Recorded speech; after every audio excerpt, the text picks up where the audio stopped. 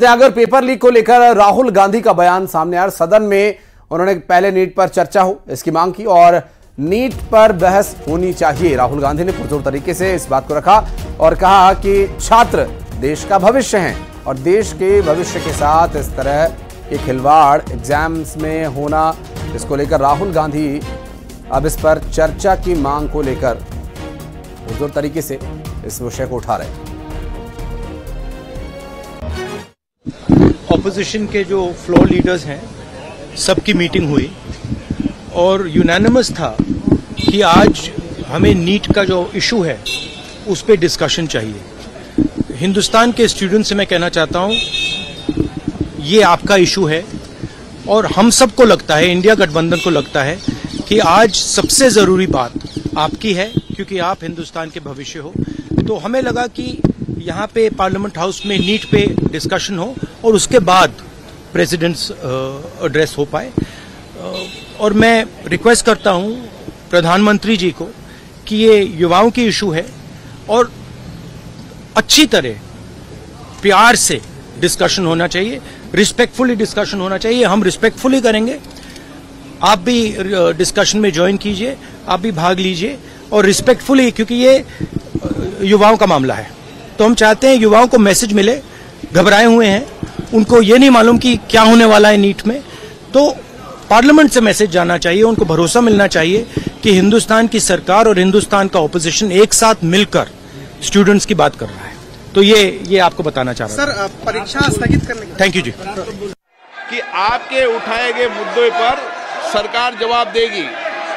माननीय item number चार item number four Shri Arjun Ram Meghwal ji धन्यवाद अध्यक्ष जी। मैं लोकसभा की संशोधित कार्य सूची के क्रम संख्या चार पर अंकित दस्तावेज़ जो मेरे नाम के आगे उल्लेखित है आपकी अनुमति से सदन के पटल पर रखता हूँ। धन्यवाद। आइटम नंबर फाइव श्री महासचिव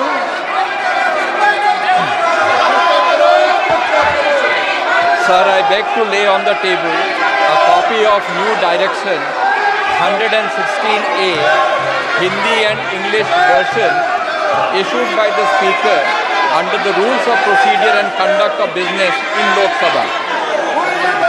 मान्य सदस्यगण आप सब वरिष्ठ सदस्य हैं राष्ट्रपति अभिभाषण के बीच में कभी स्थगन प्रस्तावों को नहीं लिया जाता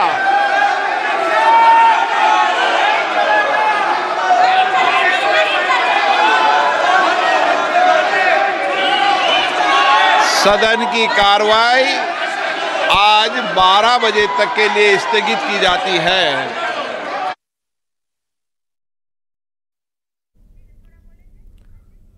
चर्चा की मांग और हंगामा लगातार जारी है।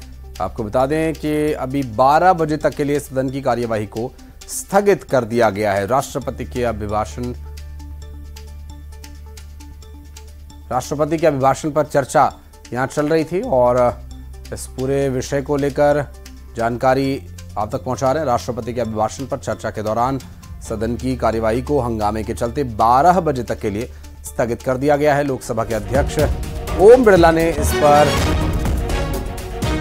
सदन को संबोधित किया और कई विषयों को लेकर शांति बनाए रखने की अपील वहाँ पर विपक्ष के सांसदों से, सदस्यों से उन्होंने की, लेकिन हंगामा बढ़ता देख सदन की कार्यवाही को 12 बजे तक के लिए स्थगित करना पड़ा।